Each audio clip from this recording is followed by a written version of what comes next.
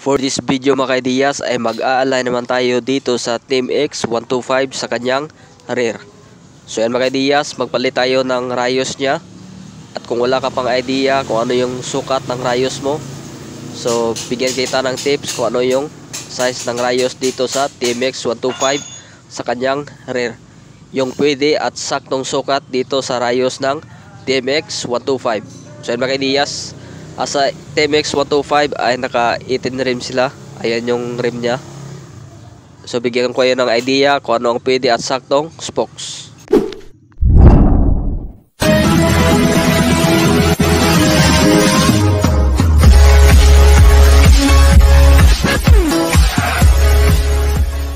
Mga kaidiyas, kung bago ka pa lang sa aking channel, uh, huwag kalimutang mag-subscribe, like, at i-hit ang notification bell para lagi kang update sa mga bago kong videos.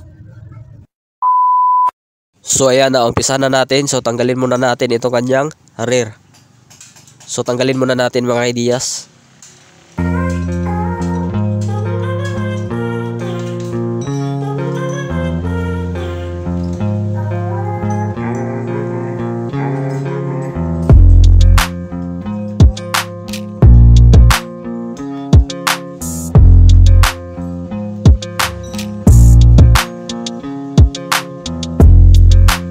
Next, tanggalin natin yung circlip ng sprocket. Tanggalin natin ang sprocket kasi para hindi sasayad doon sa ating aligner sa pag-align natin mamaya.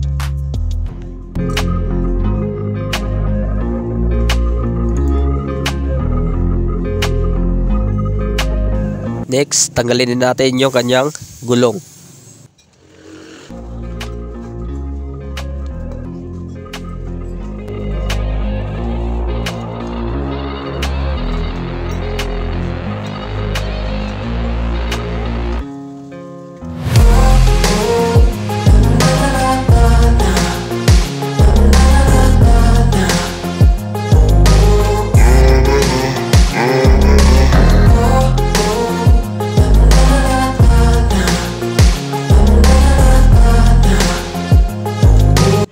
So pagkatapos niyan ay ikakat na natin yung kanyang mga rayos kasi ang ipalit natin na rayos dito ay oversize. Pero bago yan mga ideas, bago natin ikat lahat, uh, bigyan ko kayo ng technique. Kung hindi nyo pa alam yung sukat ng rayos, so gagamitan nyo ng uh, steel tape. So sa steel tape mga ideas ay malalaman nyo dyan kung ano, kung ano yung pwede at saktong sukat ng rayos sa dito sa TMX 125. So sa lahat yan mga ideas na motor, pwede yung i-apply itong ginagawa kong ito, yung ginagamitan ko ng steel tape. So pakita ko sa inyo mga ideas na magka-idea kayo at kung hindi nyo alam yung sukat ng spokes nyo, gagamitan nyo lang ng steel tape. So dito sa sukat nyo mga ideas ay 170, 175. So pwede sa mga ideas dito sa 18 rim. So dito sa TMX 125. So yan mga idea sa isang idea. So ang gagamitin ko na spokes dito mga ideas ay 8G by 170. So 170 lang ginamit ko kasi malaki na yung butas sa kanyang hub. So ayan mga ideas, umpisa na natin mag-assemble dito sa kanyang rim. Assemble na natin yung kanyang mga spokes. So kwentuhan muna kami ng aking customer.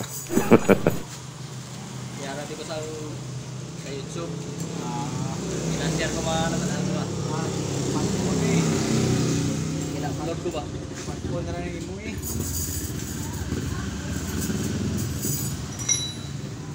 Kasi mga wakta sa sunod. Ate, uy, kung kasi may kwalto mo diya, kaya may may nabalaan ko ang mo mo. Saka may ginawa, wala kong ginawa. Na-upload ko ba? Namak na mo ba? Bagay, balo ko ng mga daan.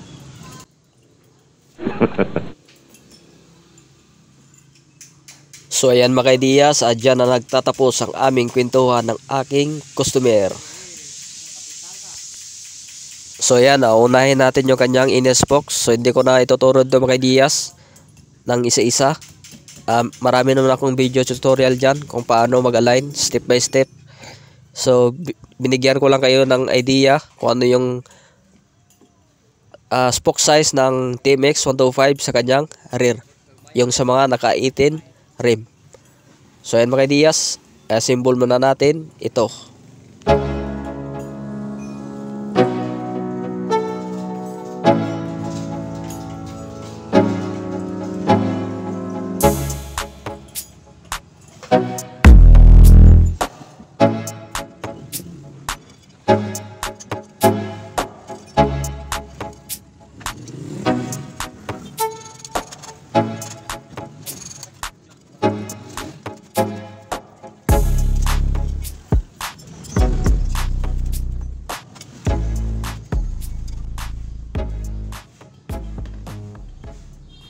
Next naman natin lagyan ay yung kabilang inner spokes.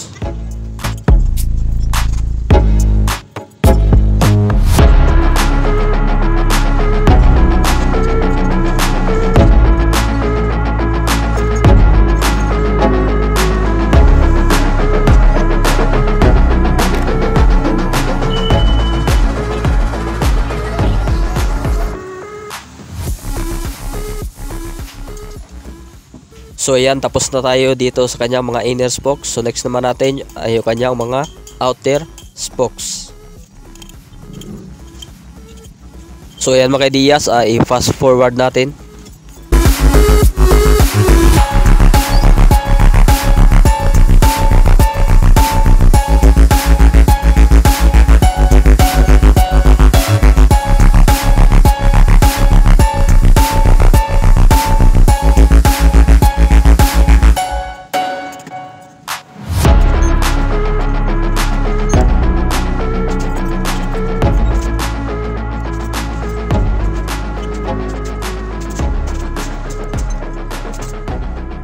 So ayan mga ideas, uh, natapos na natin i-assemble. So mag-align naman tayo. Ang unahin natin ay yung kanyang inner spokes bago yung sa wiggle, yung sa outer spokes. So tutok na tutok yung aking customer. So gagamitan muna natin ng kamay mga ideas sa pagigpit. Uh, pero huwag masyadong higpitan.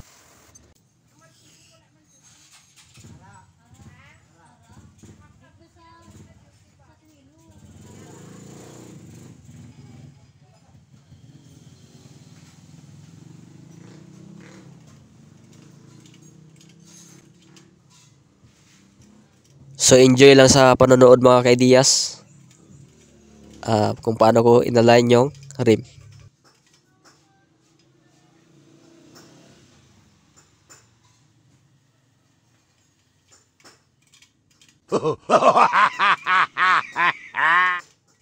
enjoy na enjoy sa mga ideas panonood sa akin mga ideas sa pag-align ko. So shout out sa may-ari nitong motor na inalign ko. Sige, tingin ka lang boss para marunong ka sa pag-align.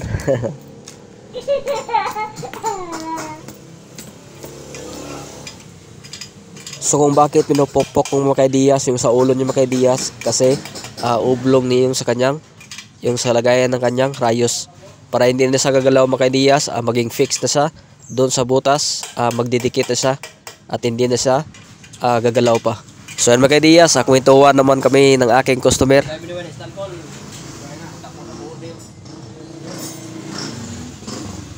Tama tangan ni,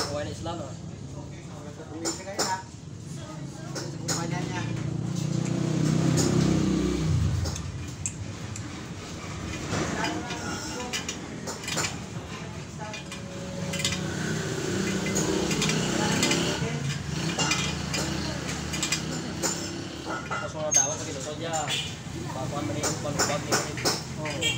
Sayang.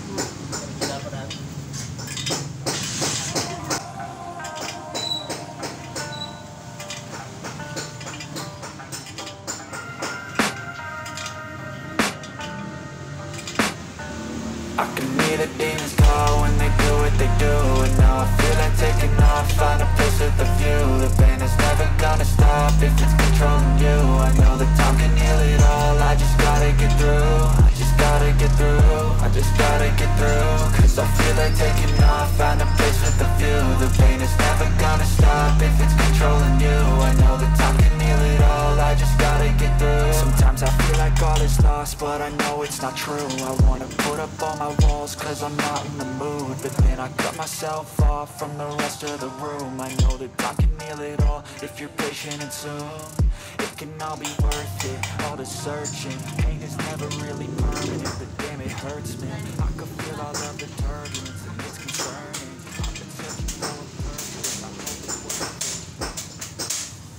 So ayan mga Diyas, ah, kanya-kanya kaming trabaho dito sa shop. Kung na didinig nyo mga Diyas, ah, maingay. So kanya-kanya kasi kaming trabaho.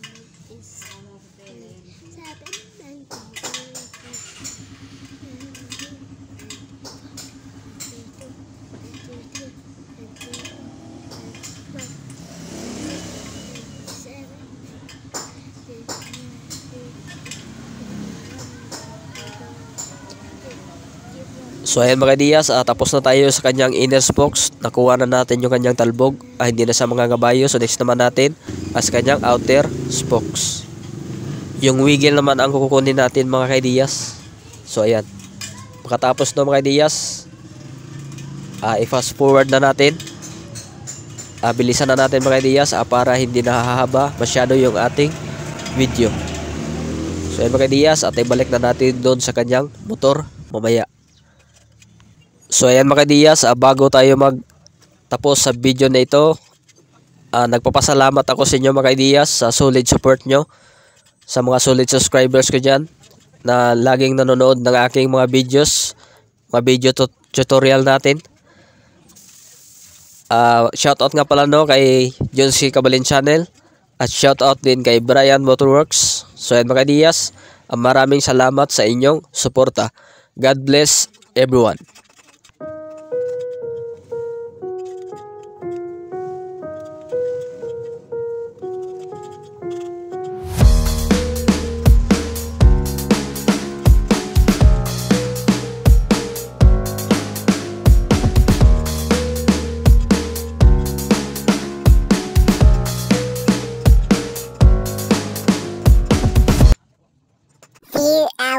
Later.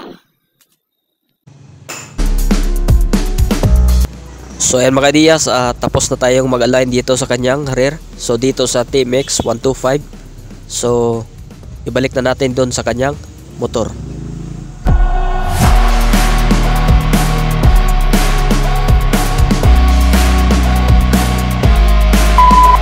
So ayan mga Diyas, ah, dito na nagtatapos ang ating video tutorial. So alam mo na ngayon kung ano yung pwede at saktong sukat dito sa rayos ng TMX 125. At kung nagustuhan mo ang video na to mga Diyas, ah, huwag kalimutang mag-like, subscribe at hit mo yung notification bell para lagi kang updated sa mga bago kong videos.